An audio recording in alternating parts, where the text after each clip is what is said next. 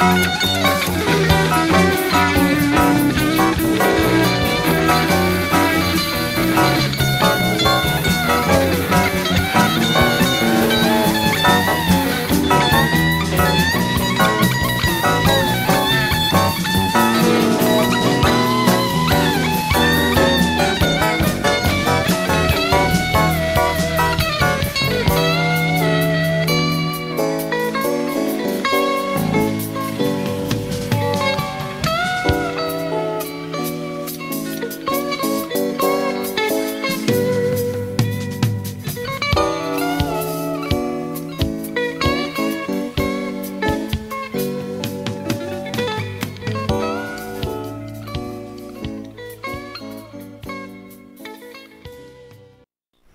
Folks, welcome inside the Parisi Palace, high above 3773's Broadway. This is the Jake Feinberg Show. Coming on Power Talk, please go to our website, powertalk.live, and download our free app to your smartphone so you can stream all of our live local programming, including Solomon on Blast, The Jim Parisi Show, and yours truly, The Jake Feinberg Show. Can't thank you enough for making us part of your day today. And what a high honor it is to bring in an absolute titan of the metaphysical, someone who has been attempting to expand consciousness from her earliest days uh, when her. Uh, she, when she was intrigued by the mysticism of the Middle Eastern cultures and the spirituality of those um, religions, and uh, it led her to um, uh, to today, where she uh, runs the Beckley Foundation and tries to uh, create evidence-based and scientific-based research uh, on the uh, on the positive qualities of um, of microdosing uh, as it relates to and its health correlation to depression and anxiety and addiction. Um, and it's been a long time coming, but. Um, it's it's here now. Amanda Feilding, welcome to the Jake Feinberg Show. Well, thank you very, very much. It's been lovely to meet you after these long two years wait. The, I mean, just uh, it's it's just it's it's it's cathartic, and I believe this is just the beginning of our a collaboration. Um, you know, I I wanted to ask you by starting. Um, did you um, have an opportunity to um, spend time with uh, the Sufis? When I was, whatever, 16 or 17, I traveled to Egypt, spent quite a lot of time in Egypt, and then I spent time with some Sufis, and also in Syria, but not not a serious amount of time, really. Um, so I I I loved the Sufis from when I studied them, as um, you know, I was studying comparative religion, the mysticism, at Oxford and I particularly love the Sufis. Can you? So, um, I mean, because here's the thing: we we hear now. I mean, in Western uh, media, uh, we hear it in. You know, it's just. I mean, so much of the uh, we don't hear about the Sufi Sufism at all. No, and it is a dancing, no, no. spiritual, magical, and and so I, you know, I, I I know that you're you were your godfather was a Buddhist monk. So, yes. and that was your sort of beginning, your ascendancy towards this. Uh, I mean, just such a glorified and beautiful uh, trip towards enlightenment. Um, but I wanted you to talk, even though you might not have had a lot of exposure, what was it like in Egypt? Or could you just talk about a story of, of when you did interact with the Sufis? Um, well, I was living in, in when I was there. I was either living in a place called El Gourna, the city of the dead, and um, or in um, Cairo. And I used to sometimes go to Sufi gatherings in Cairo. I remember. I think they hit a very high point in uh, mystical thinking and expression. And it's strange how they slightly dropped out of the um, kind of light at the moment the popular light, but I'm sure uh, there are a lot of people still following them. There are. Um, did when you went there? Uh, first of all, where did when you? What was the thing about your godfather that you loved the most? That you really got off on the most? Well, well, funny enough, I, I actually never met him. uh, I was always I was always going off to the Middle East when I was kind of 16, 17, 18, with no money and usually with no passport um, to reach him. But uh, I always got held up somewhere on the way in Syria or um, Jordan or Egypt. Somehow I never got there, and then he died. So I, I was told he died in a, um, a trance state, but you know, I don't know if that's an exaggeration. But um, so that was very sad that I never met him. But he very much left a lasting impression on and gave me a passion for mysticism, which is really at the core of every every religion. Explain to the and, um, explain ex, ex, explain to the audience um, your idea. I could not ask a better person about mysticism, and when and and ultimately when when you when you begin to access it or experience mm. it, how it becomes part of your soul. Is there was there a defining? You never met yeah. your godfather, but I'd like you to talk about yeah. an early experience of real mysticism, uh, and, yes. and, what your definition of it is. Yeah. Um, well, I had it uh, quite often as a child. I think many children have a mystical experience. Yes. Um, and I grew up in an incredibly beautiful place, but totally isolated. And so uh, there was nothing to do except kind of mooch around, dream, and um, and then there was parts of the garden where I had a mystical experience quite regularly. I had this kind of fantasy of a god figure living in that part, and then uh, um, my mother was Catholic, so I went to Catholic church in in my childhood, and I remember having mystical experiences in church you know, suddenly the, the prayer book would come to life and tears would trickle down Jesus' face in um, a very sweet way. And then later, I had a mystical experience. I remember quite a strong one when I was about 15, 16, at a place called Mistra in Greece, um, where, where there are uh, monks, monks lived there, and Byzantine times, I think it was. And I just remember going off into a completely other world, listening to goat bells. And I know nowadays in the Bwiti tribe, when people take, um, is it Iboga, they're told to follow follow the bells of the sheep, because if they lose the, the sound of them, they'll die. Really? I, I know that feeling that you need to keep your your mind focused on on the sound to bring you back to daily reality kind of thing. But um, I mean, they were wonderful, Rumi, and and uh, there were uh, you know a whole lot of those poets who I absolutely loved. So I spent much of my kind of from whatever six to eighteen studying and reading the mystics and mooching around and having uh, you know mystical experiences. And then I wanted to um, um, study mysticism, mysticism, and I was very lucky in there was the kind of leading um, uh, academic in the field, someone called Professor Zaehner, who hung out at All Souls in Oxford. And for some reason, he took me under his wing. Wow. I used to go to tutorials with him twice a week. That was when I was about 16. What was his name? Can you say his name again? Um, Professor Zaehner, Z E A. I'm a bad speller, H N E R, something like that. So he was was was, was he was he Indian? Was he Indian or where what what, what ethnicity was he? Uh, Professor Zaehner. Um, well, he, he was fairly English. He was incredibly shy. I love this. And then sadly, he was, I think, burnt to death years later um, with with his cats in All Souls.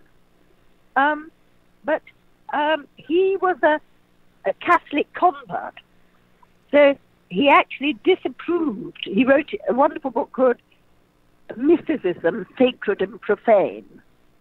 Um, I suppose in the early sixties, and um, he actually thought that achieving uh, mystical state through the use of psychedelic drugs was profane. Um, but when a year or two later I I tried psychedelic, uh, tried LSD, and uh, uh, you know had a mystical type experience. I I don't didn't think it was at all profane, and I thought it brought firmly to reality what I'd been reading about in the mystics, and so I gave up reading about it and took up taking LSD instead. Okay, now And, this is um, really this is so important. So I want you to first of all enlighten me and my audience. Who were the mystics between the ages of I don't know? You said six to eighteen, roughly. You were reading. Who were some of them? And then when you had Um, when you had your psychedelic experience, can you can you co-join their messages and what you felt viscerally on your trip? Um, yes, I mean it's the experience of being unified with nature or with the universe or uh, losing the boundaries of the self and um, kind of dissolving into the greater unity. And um, I mean, I, I loved uh, Sufis, you know, whoever Kabir, Rumi, and um, all of that lot, and also obviously the Indians, um, know, Buddha and other Indian. I, I think they had such a wonderful way of describing that reality because they were so familiar with it. And to a lesser degree, I, I read some Christian mystics, but um, uh, I, I think the Eastern ones were more familiar with the territory in a way. I mean, Saint Teresa of Avila, her descriptions of her experience, it could be an, a description of an LSD um, experience. Um, very, very similar. And um, when I later set up um, the Beckley Foundation, which is a charity to research um, states of consciousness and their altered states, particularly in using um, psychoactive substances, and not only. Um, I, it was amazing what we found in, in um, with brain imaging. You see uh, the uh, reduction of the default mode network, as they um, now call what we used to call the ego. The ego. I like the Uh, ego anyway better. I like the ego a lot better. Yeah. But um, you know, these neuroscientists, they have to have. All right. No, I, I understand. I understand. Yeah, and but um, wh- what what is interesting is that what I remember experiencing in the '60s from taking um, LSD is very kind of clearly sorry, described in um, the research we did um, as part of the Beckley Imperial Research Program, um, looking with brain imaging at what is happening in the brain um, when you get a kind of peak experience. And basically, um, the, the kind of repressive network in the brain, which is called the default mode network, um, and which censors what reaches consciousness and what is repressed, um, has its blood supply diminished during a psychedelic experience. So the in, inhibitory and, and, and repressive function is lifted, and then the whole brain begins to communicate with itself. So um, the segregation of the different um, networks and, uh, and, and parts of the brain um, is broken down. So all the different parts start communicating with each other. It's rather like when the uh, when the cat is away, the mice will play, Mm-hmm. and and it, it was just beautiful how the whole brain was lit up with connectivity, as opposed to little parts of the brain being lit up, and I think that that is typical of the mystical experience. It's the kind of daily controlling network of um, kind of tunnel vision and doing what is ordinarily done drops away and the brain becomes more like entropic, more chaotic, more like an infant's brain. where um, many more perceptions come in simultaneously, and um, and um, consciousness is fed from many different areas of the brain, whether it's emotion or visual or auditory, and so it kind of increases synesthesia, and also uh, I would say probably the likelihood is that it increases um, telepathy and those um, those uh, sensations which are normally kept repressed. Let me ask you. uh, This is we're talking to Amanda Feilding here, who's uh, just honestly one of the headiest intellectual people, and and what's cool about it is she is so avant-garde in her approach. Um, the synesthesia. Did you start to experience that on your on your first on your when you started taking acid? Um, somewhat, but not not. I wouldn't say it was a major uh, experience, if you know Mhm. what I mean. But I know exactly um, what what the experience is. It's crossing crossing Im- impulses.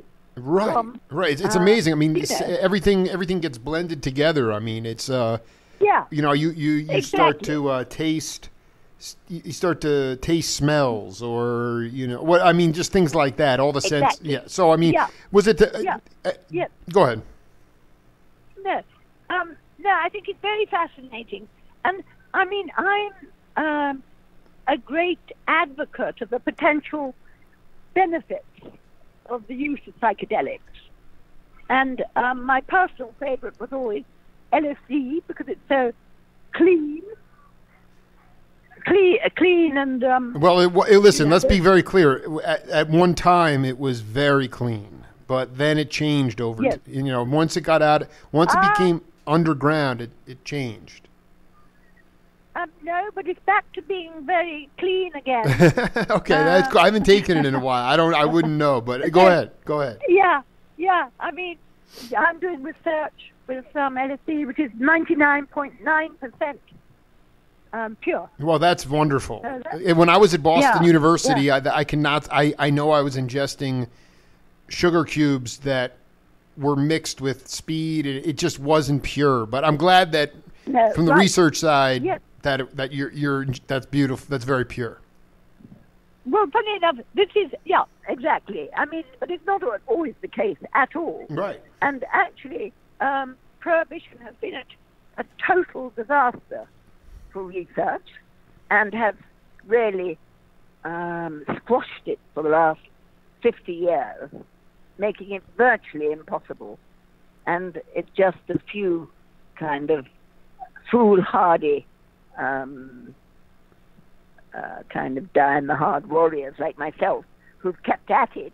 And now finally, we've broken through certain um, boundaries and um, have shown, hopefully, that actually it's an incredible compound and can be immensely valuable in the treatment of psychological disorders like um, addiction or depression or post-traumatic stress disorder or, you know, a, a great many of those. And I also think it can be very valuable in much smaller doses for conditions of um, maybe maybe even in microdose, it could be very valuable in Alzheimer's and other sorts of things. This is fantastic. I mean, I really want you to explain from a scientific point of view with post traumatic stress disorder.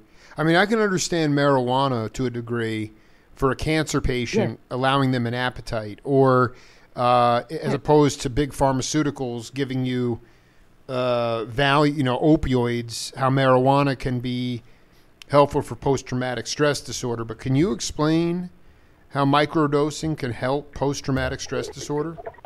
Um, sorry, about, uh, I was saying that um, so far there's almost no research on LSD. Um, I did um, one of the first researches using brain imaging technology.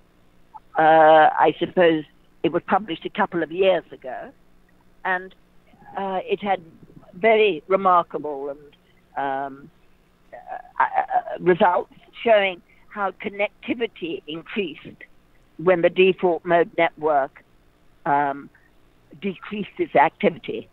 And connectivity is a kind of enriching of the sensations. So you've got much more um, of the brain um, enriching the moment, whether it's coming from senses or memories or um, um, emotions.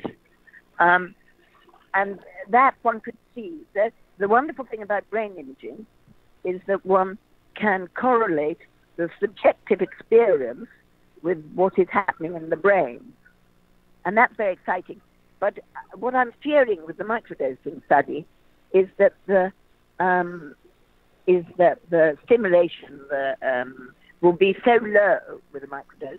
Maybe the um, brain imaging technology won't be able to pick it up. I see. So I, I've yet to find out. And actually, one would love, and where where where where the change is little, one needs very big numbers. But the horror of modern um, research is that they have such high demands. You know, every person taking a microdose has to have a doctor on call and two sitters or something, which becomes vastly expensive.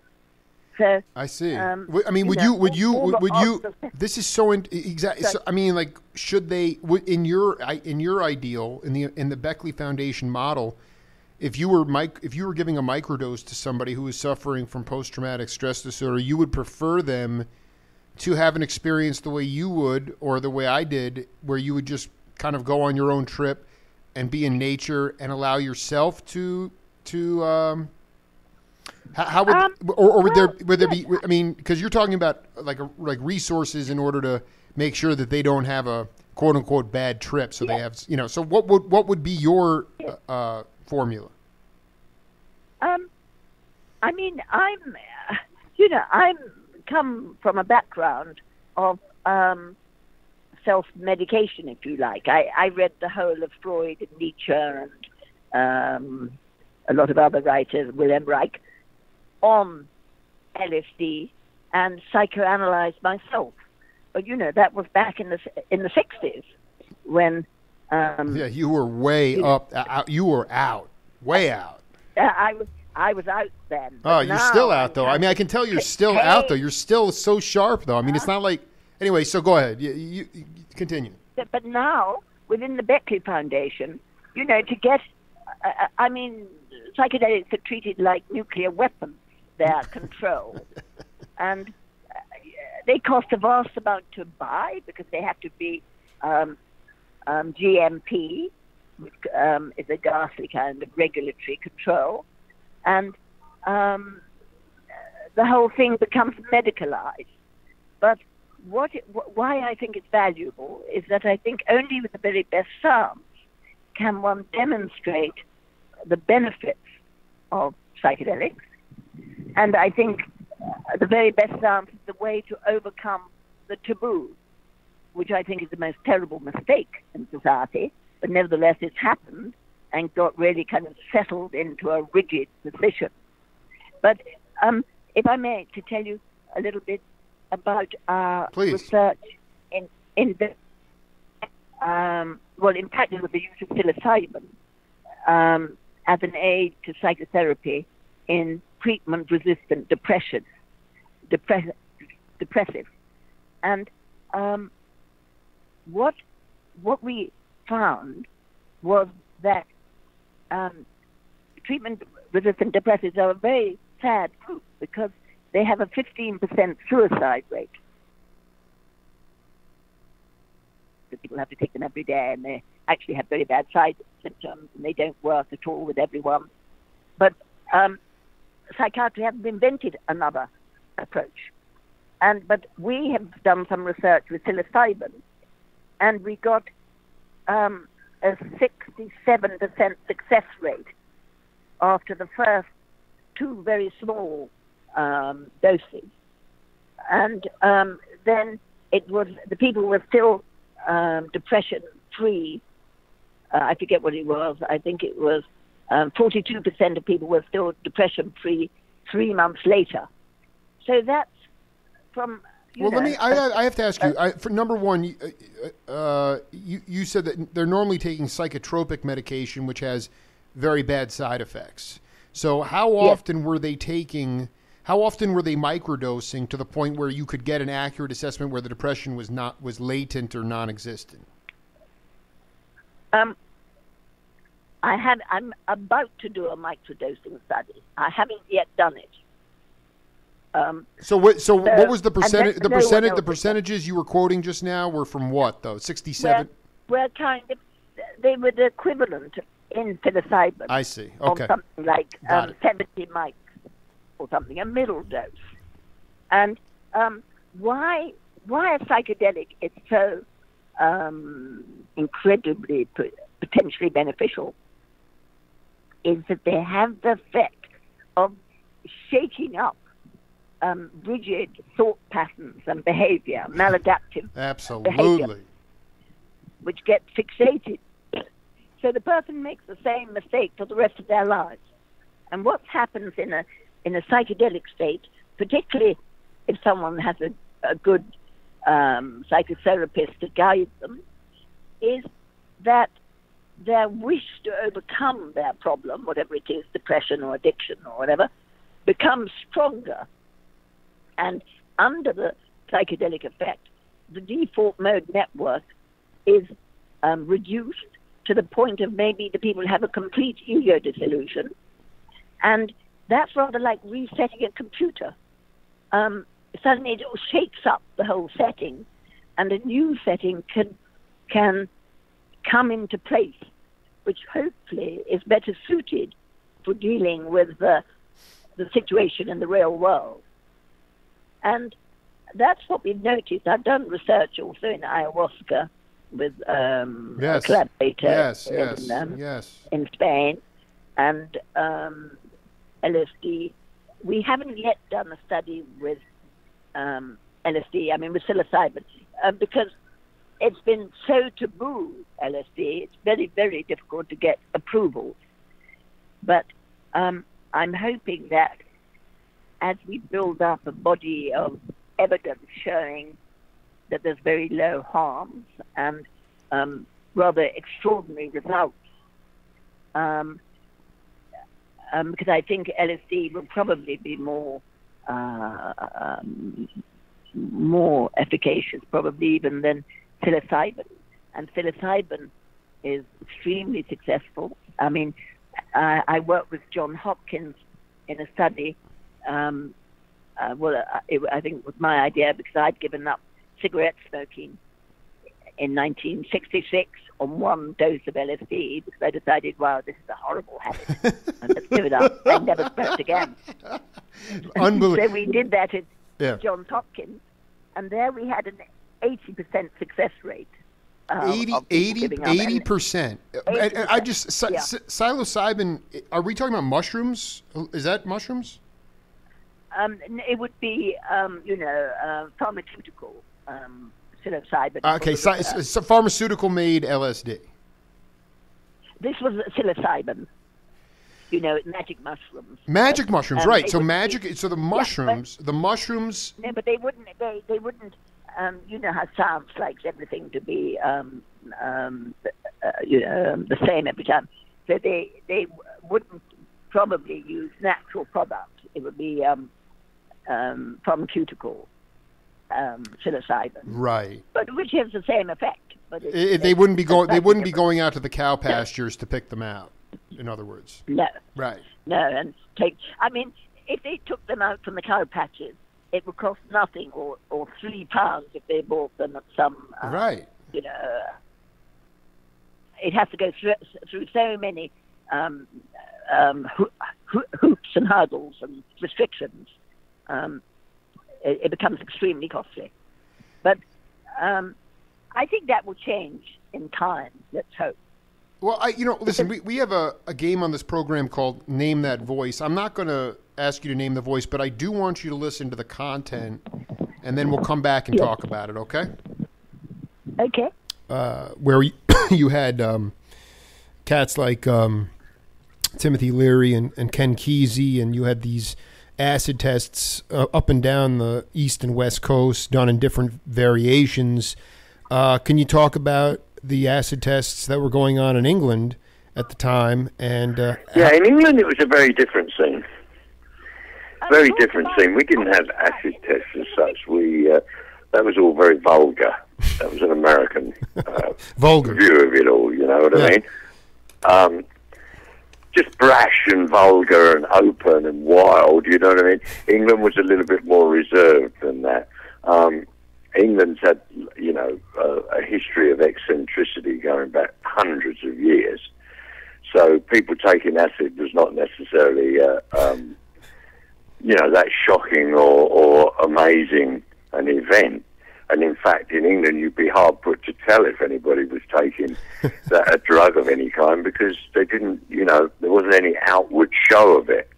But for sure, LSD had a major effect in England, and um, it that was based on the universities because the universities, you know, were teaching people how to be chemists. And so all the university had laboratories, and all the laboratories were making acid all over, all over England. So um, um, the uh, uh, the net effect of it was that you could get on a train, for example, you know, a subway train in London, and you would see uh, see you know very regular, straight English people going about their business, going to work, and all that, and you'd also see. Uh, rather kind of sparkly eyed, uh, uh, strange young people dressed in exotic kind of uh, romantic clothing who obviously were on some kind of drug, but one didn't know what, and uh, they'd be going home from, you know, uh, from uh, a party or whatever and had been up all night and was a completely other culture. There was a huge kind of paradigm shift in English popular culture, um, just like there was in the United States. The United States was, um, you know, the, based in San Francisco largely, and and in New York. Uh, the London thing, the England thing was based in London, but there was a very a lot of rural stuff in England as well. In the countryside, people went and- because uh, you couldn't live in towns. The towns had been bombed flat and they were expensive. A lot of lot of uh, hippies or proto hippies or beatniks, whatever you like to call them, moved from the towns out to Wales and Ireland and uh, rural areas, you know, and, and uh, did the same thing they did in America, look for a, a kind of alternative lifestyle. And uh, because it didn't really exist, people invented it for themselves, Mm. along with, you know, as I say, along with uh, th- their own drugs and their own music and their own their own version of um, of how to be. All right, that was uh, a guy named Sam Cutler who uh, was the uh, tour ma- road man tour manager uh, and manager for the Rolling Stones and also the Grateful Dead. Uh, Right, and right. you do you know him or no? Do you know who he, who he is? No. Yeah, so I, I, no, I but but but I, I, I- just want I, I my whole dream is to be back with Amanda Feilding in '65. Uh, acts, Ah, that was a wonderful time. uh, Well, I just, I mean, Yeah. we're, we're, we're explain because what he was saying was the laboratories were were were cranking out this pure LSD, but but he talked about this rural element, this rural element, and I wanted you to talk about your connections to the university, how you got the LSD, and then ultimately when you know talk Yeah. about talk about some of these experiences. Yeah. Well, actually, um, I mean, I I I grew up in and, um, in the country, a very beautiful place outside Oxford. But I, in the '60s, I was living in London, and um, which was wonderful. Yep. And teacher on many levels, Bart Huges, the Dutchman, and he had made it um, actually in his friend's uh, kitchen. And um, then he went to Ibiza in 65, and there it spread out across Europe. And um, at that point, some reached me in London. And um, it was a very obviously exciting experience of suddenly hitting this high point, which I've known as a child as a mystical experience, and then later by studying it. But um, but then I have to say, I thought this is absolutely incredible. But you can't live on this experience. And then a year later, um, I met the, the Dutch scientist who'd actually made the LSD, he came to London, and um, uh, we we um, came together, and um, he had a hypothesis about how it works um, physiologically in the brain, and how one can come to um, control one's consciousness on the higher level, so that one could carry on all one's um, cognitive functions.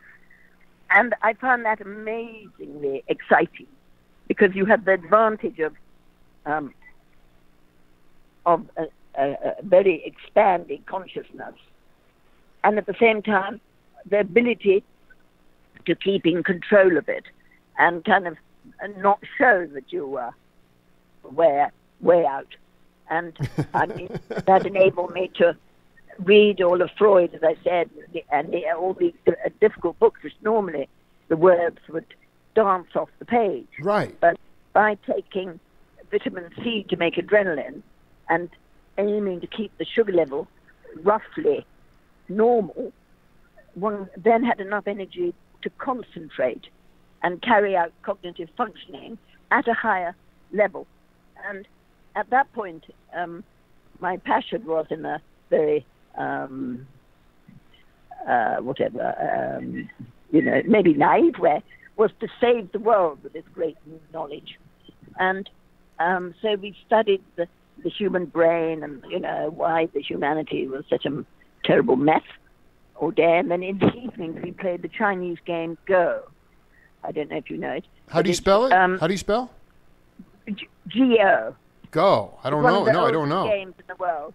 Oh, you must uh, look up Go. Oh. And it has more possible um, moves than the number of atoms in the universe squared and then squared again. I mean, you know, it, it's very much more complicated in a sense than chess, but very few rules. There's just one rule, which is politeness, that you have to warn your opponent before you take him.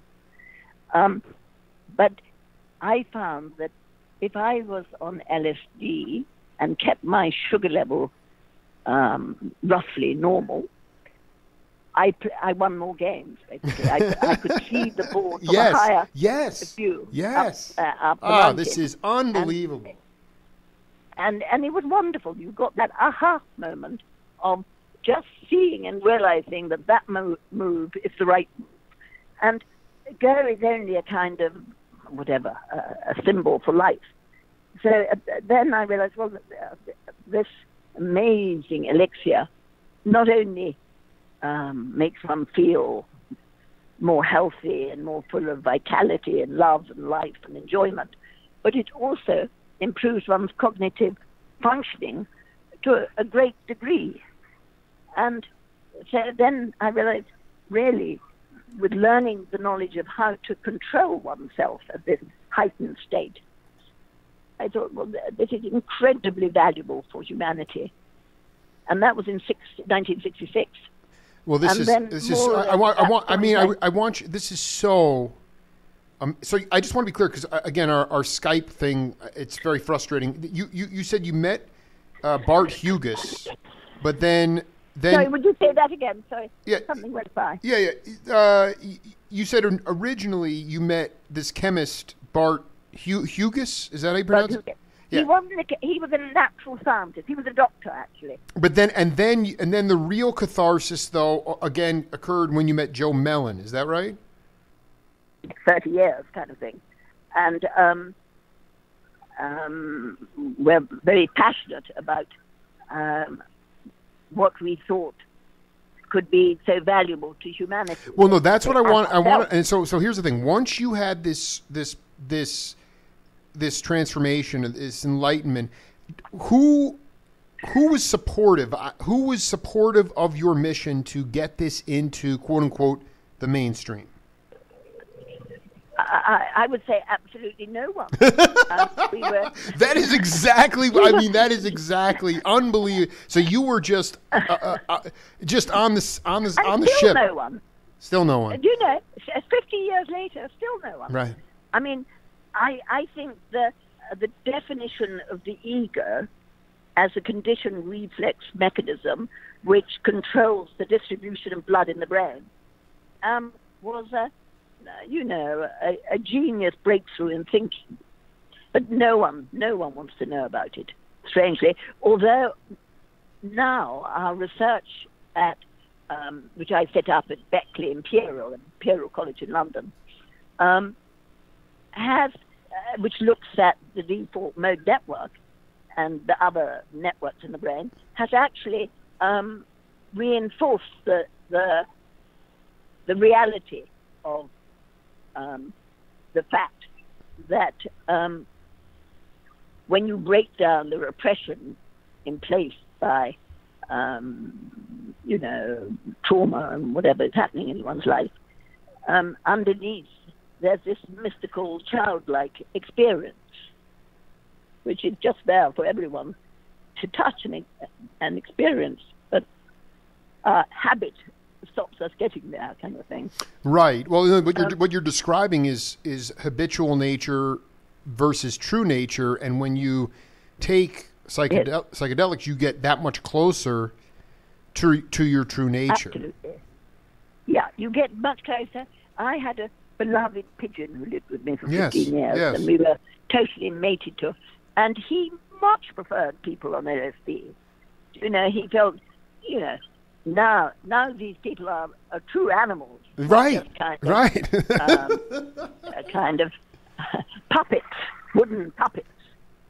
Um, but the, but the 60s was a very very exciting period in London um, because there was a feeling of change, and um, although no one particularly liked what we were talking about because it was too serious, everyone was into more, you know, they were either adults and like their their routine, or they were the other end of the scale, and they liked to kind of um, whatever drop out. And uh, whereas we were people who liked to take our compounds, expand our consciousness, and then work with it. And that wasn't a very popular, um, and you know, of experience.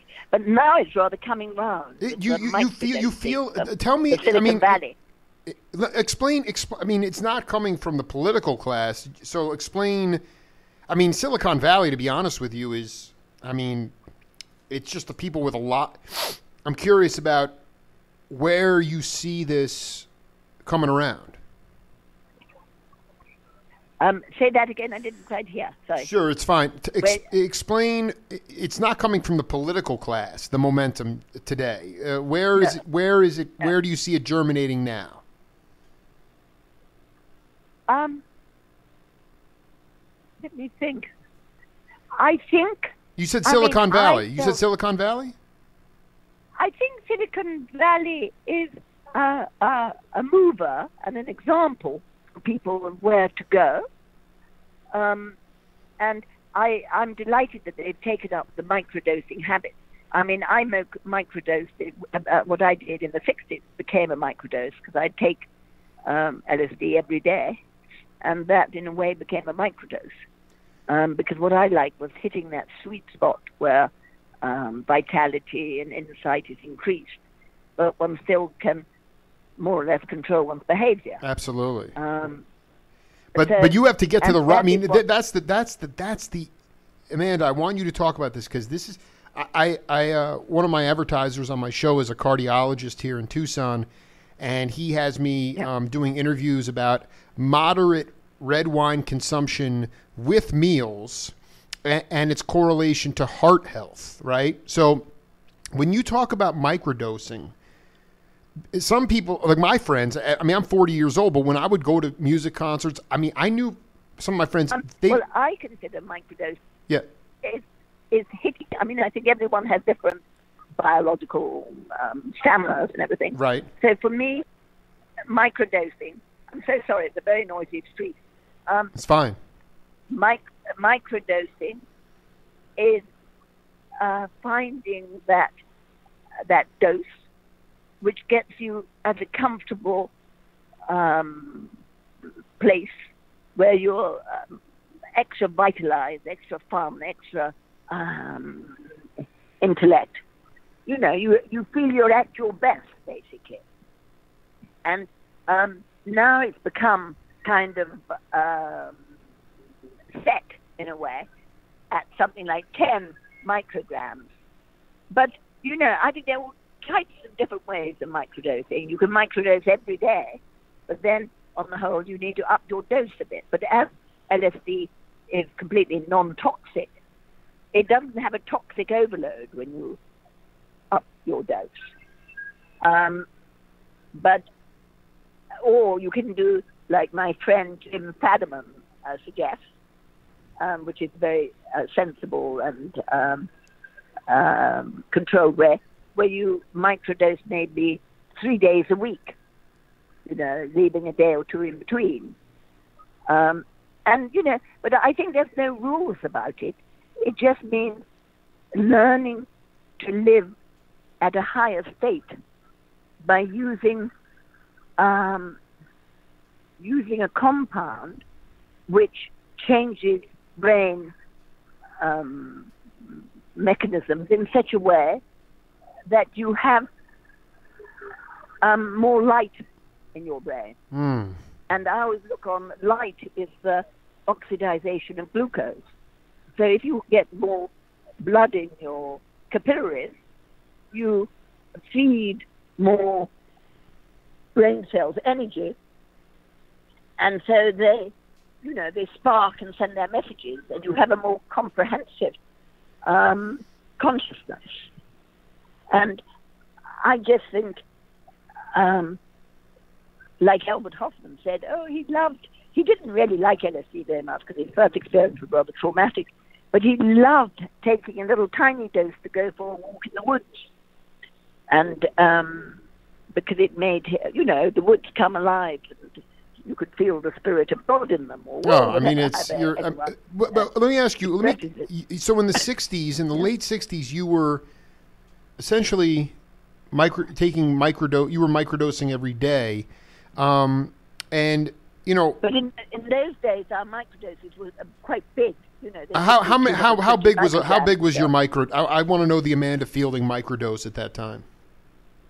I mean, at that time, it was fairly uh, fairly big. It could be whatever, 150 mics or more. Wow. Um, because by taking it every day, um, you the body gets used to That's it. what my So- question was. My question was, how do you? So I want to go back to the cardiologist thing because the question is moderate red wine consumption with meals equals a healthy heart. But the problem is, what is moderate? So the thing is, you start you, Yes. you start drinking, you start I- ingesting microdosing, but then all of a sudden your body gets used to it, so you have to keep upping the dose, right? Um, yes, but if you have a gap of three days, Yes. two or three days, Right. The body goes right back to the bottom. Oh wow. and that's the wonderful thing about it. It it it doesn't stay around. It, it's it's cleaned out very quickly, and um, so I I think a small microdose of uh, ten micrograms um, can be. We used to call LSD a psychovitamin. I mean, it's it's it's better better than coffee. Um, you know, much better for the body and better for the mind. And I think it could be of great value physiologically. And at the moment, uh, I'm, I'm starting a whole um, Beckley um, LSD research program. Um, and one of the projects I'm doing is studying LSD's effect on inflammation, um, neuroplasticity, um, and neurogenesis. And um, I think that would be very fascinating to see because I'm it's actually good for the health. Um, but I think LSD um, is because it's so clean, and then it exercises the heart and the um, and the circulatory system, and you feel very active, and you know, sportsmen love it because they feel they can um, play cricket better or run better, or you know, all of those sort of things. Amanda, And, um, this is so fast. I mean, did you did you wind up helping people who were having bad trips? I think a lot of people would say they always hear a story about, you know, or they know a friend who took too much Yeah. and never made it out of their Um, basement, uh, their parents' basement again. I mean, did you have you? I think that's one of the yeah. yeah. uh, Have have you have you? I mean, I've, I, I've had several very, very bad trips. I had one very bad trip. can you talk about a bad trip you had? Um, yeah, it was in, when was it? 1965, Mm-hmm. when uh, uh, uh, a guy who I never liked to look at would start hanging around. My flat in London became a kind of centre of people um, who liked that sort of thing. Sure. including all sorts of musicians and people. And uh, this guy would hang around, and I didn't like his look. And um, but then he put whatever he had a bottle of LSD which he'd got from Sandoz, and um, he poured it in my coffee, maybe four thousand trips or something. When actually I'd had hepatitis and had refused the LSD, um, and I had a, a, a you know a really horrible death trip. Um, but um, so I know what a bad trip is, and I've had quite a few others. He he actually turned Leary onto LSD, and I you know I think they are to be avoided a bad trip. Can I ask you a question? Did you did you have the, did you have the bad trip because unknowingly he he gave you five hits of acid in your coffee? N- not five, five, uh, three thousand or something. He poured it in into my coffee out of a vinegar bottle, a big vinegar Oh, bottle. and so It and, was in the days when you and you already didn't trust the guy. uh, you didn't trust him. Was yeah, it? and I didn't tell Right. him. And and then and then um, and then you and then I just am curious because you talk about uh, playing Go and uh, and and, Yeah. ha- and having this sort of uh, multi-sensory sort of being able to see the board from above, or you know, going Albert Yeah. Hofmann going into Yeah. the woods and it becomes alive. Yeah. What's what's the bad Yeah. trip exper- dream, uh, experience like in terms of your mindset? Um, I would say it's a very bad experience. um, you know, it, it's one. I, you know, a lot of people say when they have a bad trip and they're kind of whatever, having a horrible time, and you say, "I'm so sorry you had that," and they say, "Oh, it was wonderful. I learned so much." But actually, Mm. for me, I think a bad trip, a really bad trip, is a very unfortunate experience because it cuts, it facilitates um, a pathway of pain and um, and fear in the brain. Um, so I, I don't think it has a benefit, and I'm very very against people giving people trips without without telling them what's happening. R- unknowing, That makes it unknowingly, yes, worse. unknowingly, yeah, Unknowingly. right, right, right, right. And then we always had the safety measure after I met Bart. So then, when that person did that to me, I retired, lived in a hut in the in the country for about three months, and then a friend came and said I must go to a party where Ravi Shankar was playing, and that's where I met Bart, the white the white magician, the scientist, who taught me about how you keep control of your behavior when you're in a state of expanded consciousness. And I thought that, I have to say, was the most valuable lesson I ever learned. And really, um, I remember as a young child, I'd always dreamt of watering desert. And then I got to know, well, the desert is the human mind. That's, that's the desert in our reality. And so I saw um, trying to teach the world of the potential benefits of careful use of um, uh, compounds which can um, flood the brain with more light is immensely valuable, not only to the individual, but also to society at large. Uh, it's put to rest, and um, suddenly novelty and thinking outside the box becomes usual. And that's what's so wonderful about um, uh, altered state of consciousness. And I think society, modern society, has lost the knowledge of the value of um, of that type of consciousness, which our ancestors had. Uh, ancestors knew, uh, you know, Stone Age, 40,000 years ago, uh, or, or whenever it was, um, you know, in the cave paintings of Chauvet or something, you can see that those people were were top high when they did those wonderful paintings, which have never been improved of, and they were in the pitch caves underground. I mean, it's an amazing feat, and so uh, I think our whole culture is based on um, the the expanded consciousness brought about by different ways of um, altering one's consciousness. How- You know, whether it's dancing or listening to drums or psychoactive substances, you know, or the toad venom or um, all those cultures, all wonderful top level ancient cultures had at their center um, the experience of um, enhanced consciousness. I mean, even the classical world, um, Eleusis was the center of cultural happening. And um, that was drinking a kind of LSD like substance and experiencing life and, uh, you know, life after death.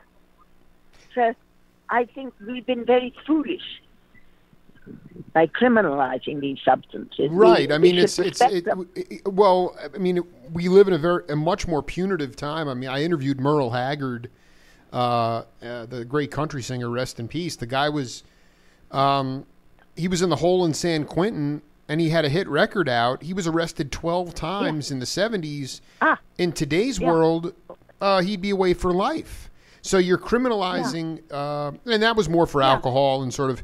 But when you talk about this this this cat who really helped you understand how to operate an, at a high functioning level with, on LSD, what kinds of like? Yes. I mean, are you talking about like a a nine? Were you working? A, could you talk about how some activities that would be considered um, mainstream or the type of jobs you that that while that you could that people can for, perform when on an appropriate dose of of uh, psilocybin? Yeah.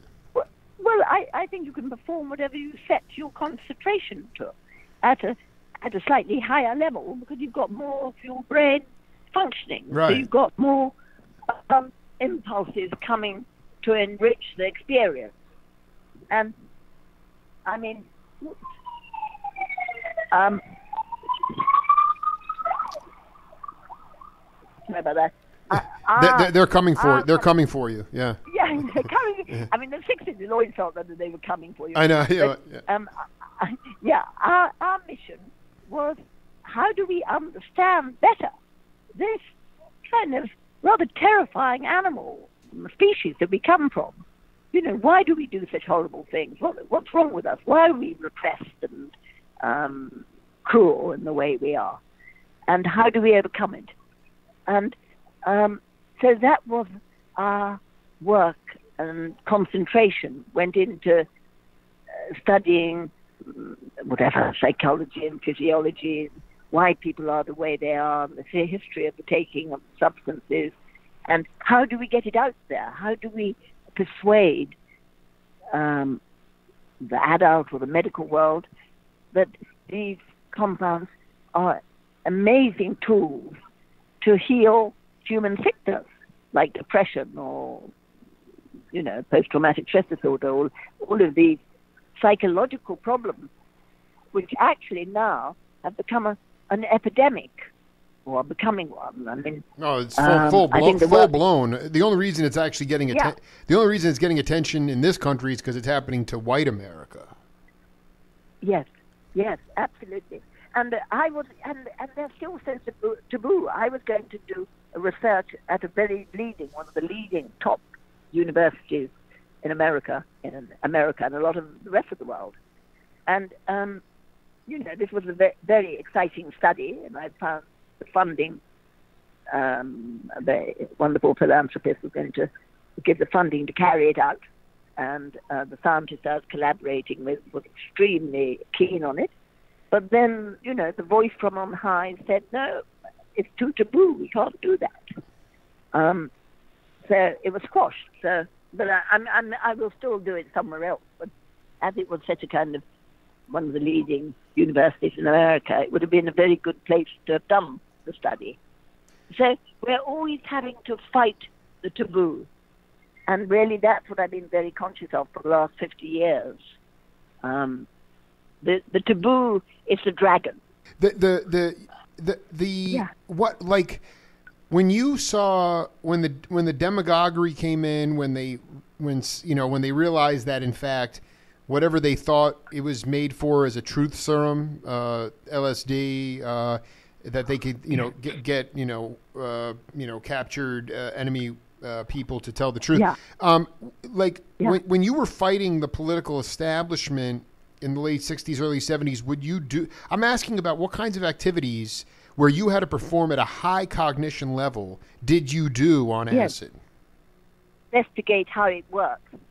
And because I, I, I mean, I obviously lived through the formation of the war on drugs, right and one could see this. This is insanity. It's just going to make uh, everything immense suffering and and harm. It's going to cause. It was absolutely obvious. Um, people weren't going to give up the substances they loved. They were just going to go underground and become much more dangerous. It was obvious.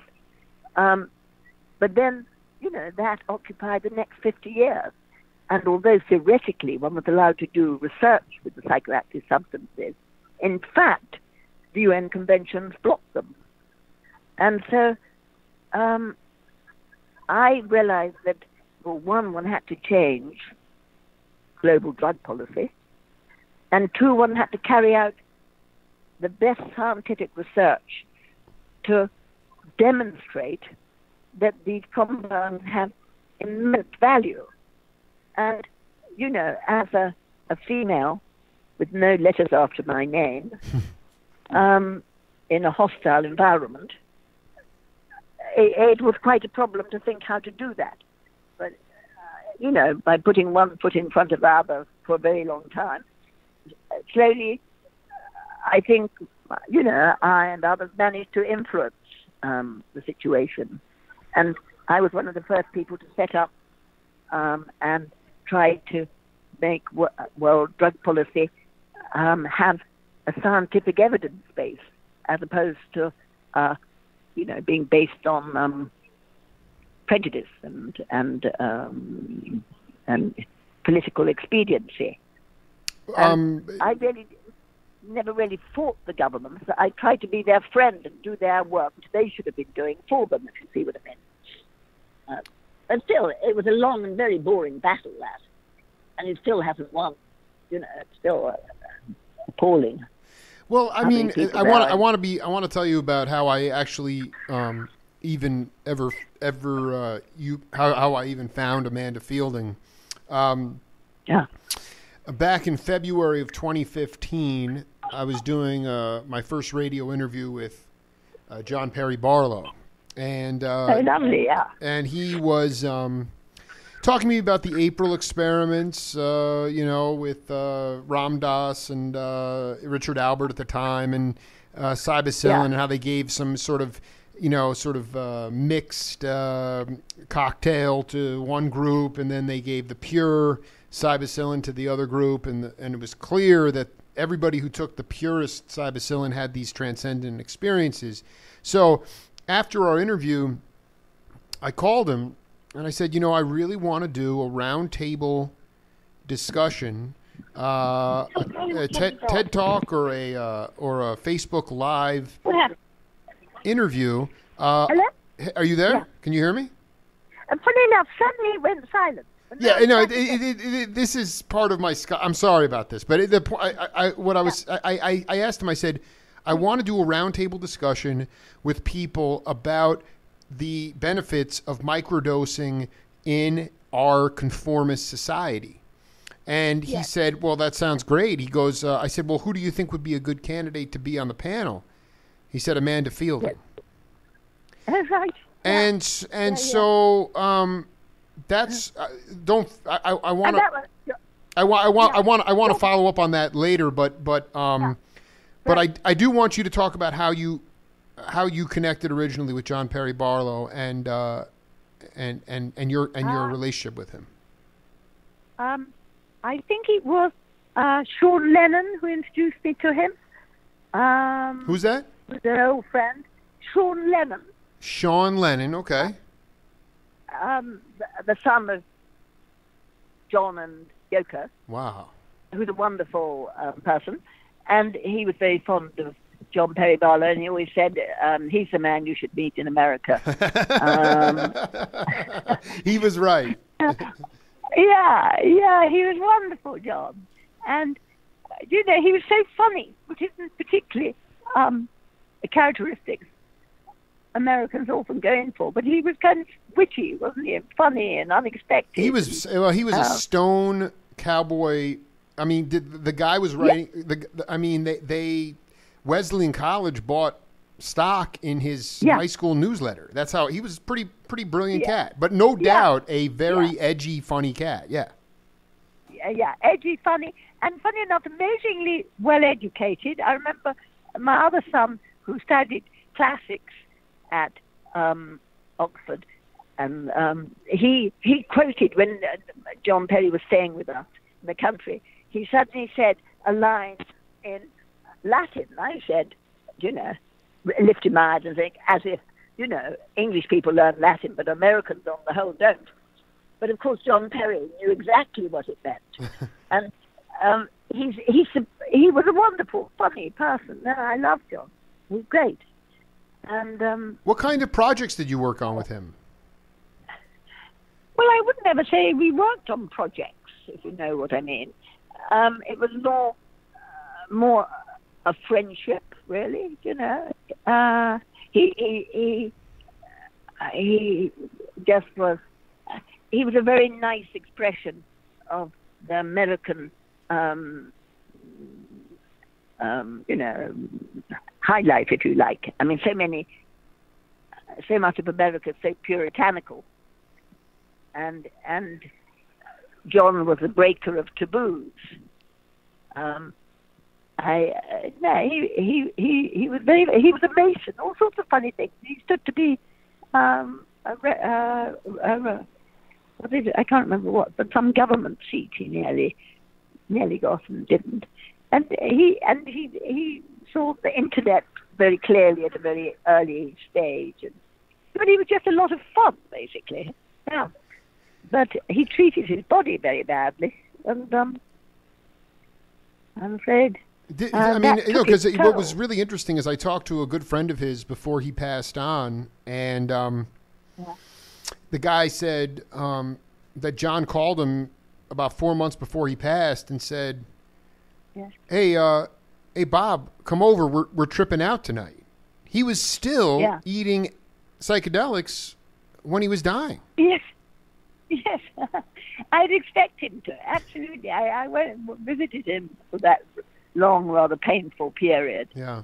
But and you know, he just loved life so much. He loved Burning Man. He loved being in the country. He loved, you know, he he was he he was a funster, wasn't he? Um, but um, and I think he's left a, a good legacy behind. But uh, you know, he he he was a very different type of animal to how how I broached the problem. Do you know what I mean? I suppose I was more serious and and um, I I've I've kind of dedicated my life to how do you get my life to thinking how do we use these incredibly non-toxic pure compounds to um, help humanity who obviously has something at core slightly faulted in their, our makeup how, how, how can we make use of these compounds to help us overcome our illnesses, like psychological illnesses, and also physiological illnesses, and then also um, give us inspiration and creativity and spiritual um, insights. And I do think that they can do all these things. And so I've really spent the last 50 years of my life in the work sense, thinking and um, doing everything within my capabilities um, to make this happen. And I think, like I was rather a good Go player, I'm quite a good strategic thinker. so you know, I, I, I think I, but I'm quite exhausted. I've played this game now for 50 years. I mean, you must. I mean, you're still cranking. on- I mean, you for you to, to put up with me for an hour and twenty minutes. I I mean, you're cranking right now. Oh, well, it, it, it's a great pleasure to talk to someone who's interested in it. And I do think headway is being made, and I think we've turned a certain tipping point. I mean, where um, people used to say to me, oh, man, uh, well, they say, say now, oh, man, we always thought you were totally mad. hmm Um, but now we can see uh, you were probably right all along, kind of thing. I think there's been a tipping point in kind of understanding of of um, altered states of consciousness. Well, we're just living. mean- we're living through a, a, a time where it could be considered to be. Um, I mean, we're on the on the precipice of of, of I mean, whether we Yeah. really ever lived in a democracy is questionable, but I mean, we're on the precipice of falling directly into an autocratic kind of situation. So, I mean, once Absolutely. you reach a crisis point, that's when people say, "Oh, wow, Amanda wasn't so off a rocker to begin with." Yeah, and and and that is most creative thinking happens in in disaster zones. So, um, and we're certainly kind of heading for a disaster zone. So, you know, and I do actually seriously think that these compounds are of immense usefulness because I think that um, uh, well, that there's a very uh, you know that humanity is maybe short of blood in its brain because of its upright position, Right. and overcame this shortage by developing a very highly controlling um, compensatory me- mechanism, which is the ego, which controls where the diminished amount of blood goes in the brain, what is allowed to become consciousness, what is kept repressed. And in the human brain, an awful lot of experience is kept repressed. And that's not a very healthy situation. So it's good to kind of wash out um, the arteries of the brain and the capillaries, you know, wash the, it out. And I think that's what um, a careful use of a psychedelic can do. And it's also like good irrigation. Um, you know, it's like farming. You want to irrigate your land. Well, you also, but you also I need to, think- you also need to till the soil and, and you know, and, Yeah. and and uproot it, as you said before. Hit the reset button, but I mean, stir that soil so that you get new compost. You know. Yes, yeah, absolutely. That's exactly what one do, uh, needs to do. So I don't think that taking uh, a psychedelic like LSD on its own creates the mystical experience, but if you um, if you um, farm the soil so it's rich in the possibility of uh, mystical experience, uh, the changes that a psychedelic can bring about um, produces fertile ground to have a mystical experience. I mean, a microdose is a wonderful um, partner to meditation. Um, I mean, actually, both meditation and and microdosing diminish the um control of the default mode network or the ego, and so they complement come depression. It can improve mood. It can, I'm sure, help a lot of those um, borderline states. Um, quite possibly, you know, um, old age, dementia, and those sort of things. Well, that's. I mean, that that that. I mean, uh, where's the most progressive place in the in the world that's even uh, spending any time uh, uh, uh, putting resources towards this the research? Um, I don't know if there is. I mean, I'm my problem is the resources. I've got um, collaborations I'm doing around the world. Actually, you know, I'm doing. Uh, I've just set up a wonderful collaboration doing LSD research in Brazil. Um, you know, we're looking at how LSD um, can um, improve um, um, inflammation, decrease inflammation, or increase neurogenesis or increase neuroplasticity. That Wow. that's a very special quality, is that it can make the brain much more plastic. It makes it like hot metal. So, um, you can bend it and, and change out of your rigid setting and overcome, you know, uh, the rigidity of a m- misplaced concept. Um, and, and then it can enhance a sense of fun, which after all is quite important, and happiness and love. And it can actually, I think, definitely stimulate cognitive functioning um, because it widens the, uh, uh, the reach, the breadth, and the depth of um, what enters consciousness. So it, they're, they're, they're amazing tools, and it's typical of human madness that we've gone and criminalized them, and that now the prison industry is being filled by um, poor people.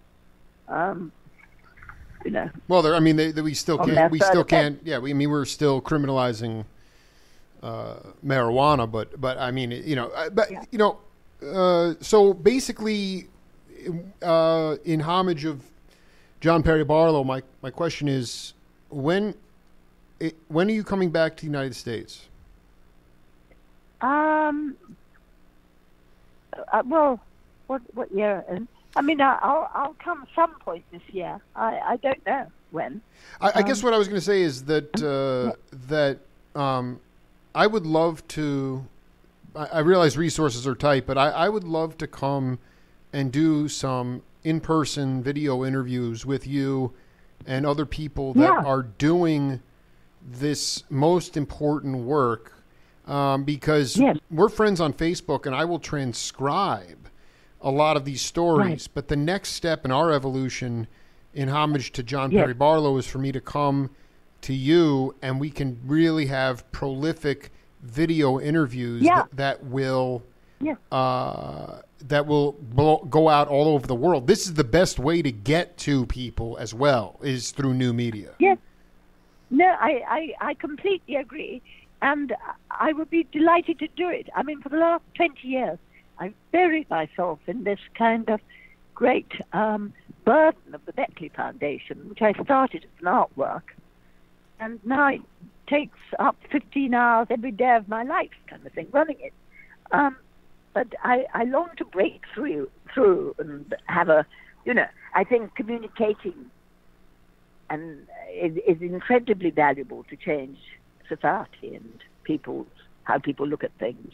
Well, I, I, Um, I mean, so like I, please- I have, please I, come and stay sometime. yeah. Well, I, so can I call you uh, Yeah. later and we can talk more about it? Because I, I, I, I have tried to find, I have tried to connect with you for uh, two years. You know, I am very passionate, and uh, Oh well, I so apologize. Oh, wonderful. Yeah. Well, I wonder. yeah, Lovely. Well, I'll, thank I'll you. call you tomorrow. I Okay. Much love to you. Super. All right. Okay. Yep. Love to you too. Yeah. Bye. Bye. Well, it's been a long time coming, two years in the making, talking to Amanda Feilding, the head of the Beckley Foundation, looking for positive change uh, with microdosing uh, and using cybacillin to uh, help with post traumatic stress disorder um, and uh, depression and uh, a lot of things that we're hung up on right now in a very, very conformist time. We'll be back later on this week with the Jake Feinberg Show. Take it easy.